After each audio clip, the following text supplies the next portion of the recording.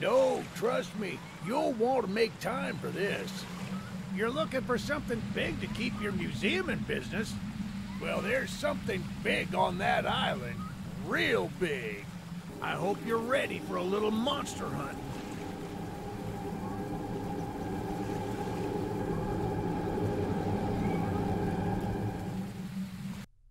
Hey everybody, Jake here, and today I'm actually going to review a video game.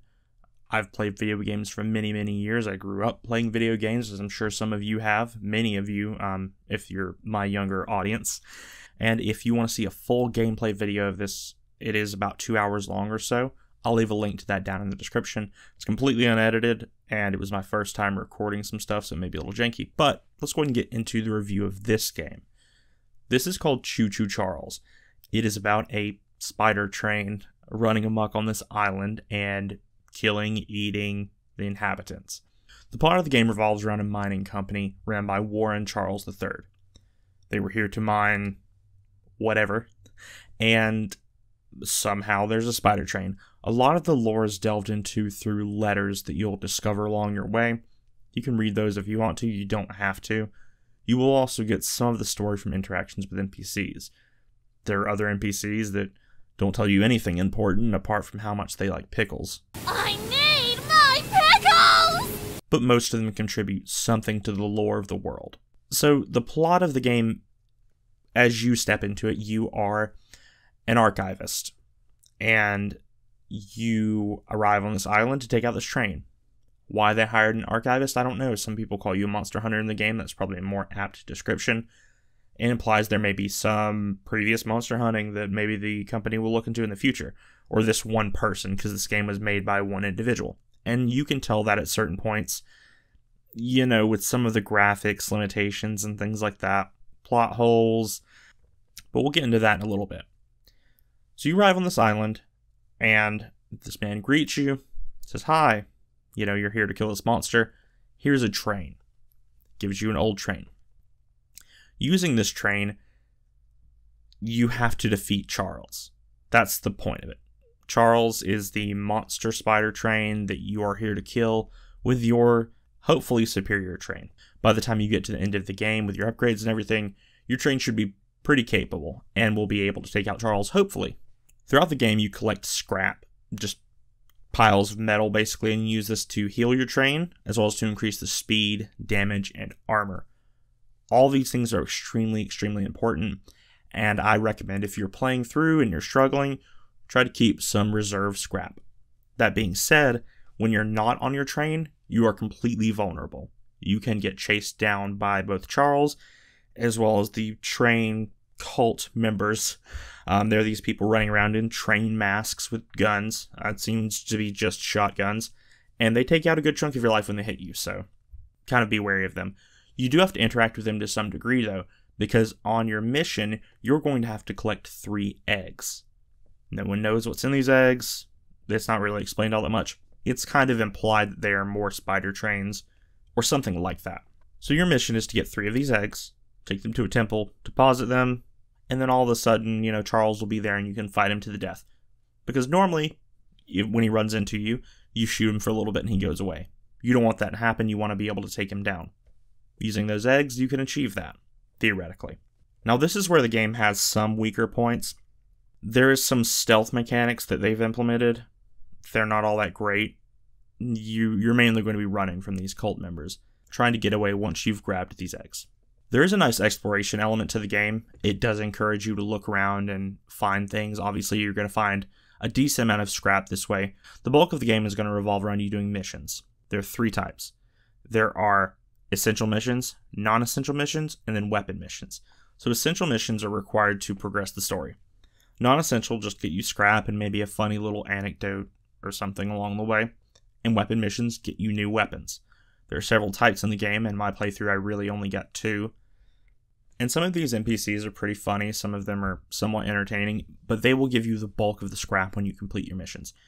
On those, you can get, you know, 10, 20, 30, 40 scrap sometimes, whereas if you just look around, you're going to find a couple here and there. So, your best option for sustainability is to do these missions to collect as much scrap as possible, especially for the last fight. I had some issues with that. because I didn't have enough scrap, so make sure you hoard it.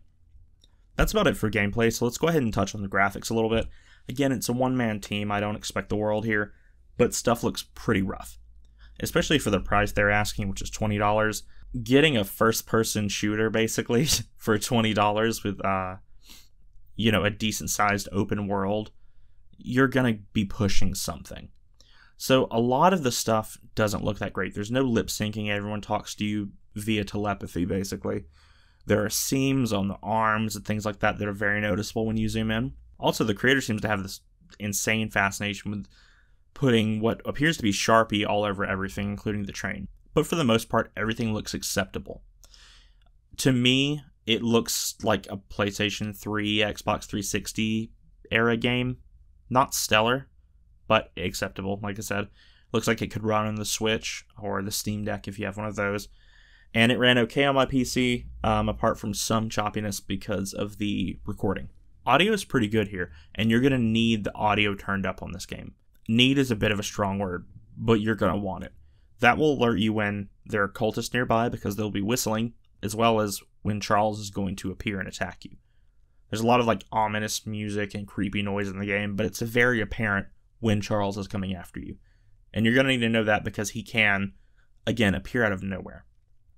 It's actually pretty funny too because some of the NPCs have interactions with him and they'll react to him being near them. So that's a main rundown of the game, what to expect, things like that. What did I like about the game? I like the exploration element. I like that they did dive into some of the lore. I really, really wish they had done more. Maybe not forcing it down your throat, but leaving it mainly to letters is just not the best way to do it, especially considering that there aren't a ton of these. I guarantee you I missed some of the letters. I guarantee I missed some of the lore. But what I did read was entertaining. There's even hints of a possible, you know, other entity that exists in this world called Gus the Bus. And if you play to the end of the game, you get more hints at, you know, a potential follow up or if it's not a follow up, you know, an apocalyptic event assuming it's not isolated to this island. So certain stuff like that's really fun. The gameplay loop is is pretty fun as well, honestly. It's very simplistic. It's a lot of you know, fetch quests which a lot of people don't like. They're not that bad here. The main name of the game is run around, look for stuff, get stronger, fight Charles. But you are encouraged to explore and look around, and that's nice. And the world itself is not bad at all. I also don't get that scared by horror games typically because I, I consume a lot of horror related content. But this game kind of had me on edge the whole time. Not necessarily because, you know, it was horrifying, but I don't like spiders. And knowing this thing could pop up out of anywhere and just make me, you know, jump a little bit was a little unnerving. So I kind of did appreciate that. Okay, on to what I disliked. I was not a huge fan of the length of the game. Um, it can be longer if you want it to be. I, I, did kind of rush through it, not intentionally, but I beat the game in about two hours or so. Like I said, you can see a full gameplay down in the description. I really wish they had done more. And I know this was limited to one person, and I know that the budget probably wasn't that great. But with how well this game's doing, I'm sure the budget for the next one will be vastly, vastly superior and hopefully lead to a really, really engaging game. Maybe Gus the Bus will come out. I don't know. Maybe they'll do Choo Choo Charles too. As mentioned previously, I also wasn't a huge fan of the stealth mechanics or the lack thereof. The game gives you options to lean either left or right, but that's the extent of the stealth gameplay, and you're meant to hide from these cult members multiple times. Most of the time, I would just go into the mine. Once I ran into them, I would start sprinting, grab the egg, get out that's kind of the bulk of what the stealth gameplay was for me. I wasn't a huge fan of a lot of the graphical issues and things like that, but it, again, it's kind of to be expected. And last thing I didn't like really was the price. $20 is just a little steep for this game. I really wish it had come out around 10. I think for $10 this would be an incredible value. Even at 15 I would still probably recommend it. At $20 I would say maybe wait for a sale unless this seems like the type of game that you would just dive headfirst into and love it. Anyway, thanks for watching. Like I said, check out the full gameplay link in the description below if you'd like to, and let me know if you want to see more video games and things like that. I do have another review coming up soon of a physical product that is not a knife or a pen or something like that. Hope you all have a wonderful day, and uh, thanks for watching again. Bye.